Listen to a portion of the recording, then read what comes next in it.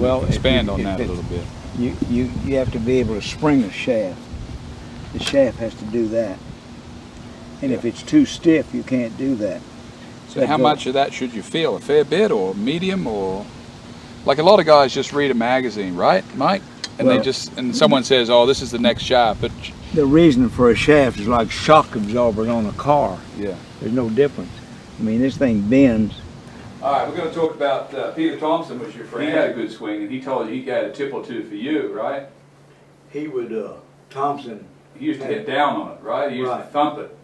he would, uh, He said you hit your woods. he said your irons, or sort of- you swing your irons too much like you swing your woods. Yeah. And he wanted you, me to hit down on it more. Like He wanted that. you to squash it, right? He said you need to, you need to press the, down on that ball and downswing. You need to hit down on, let Now- the shaft do it.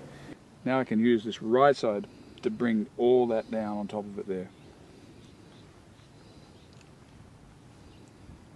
That's why I get all that push down So if you're not gonna use the shaft, if you don't take a driver and let the shaft in the game, if you get ahead of everything or try to flex the to you, shaft, what do you- if you let it go, you've got the vibration. How does that? How does that? Like, how does it? How do you put that in your swing? Well, you, it's just like you just let it go down. Let it go down. Yeah.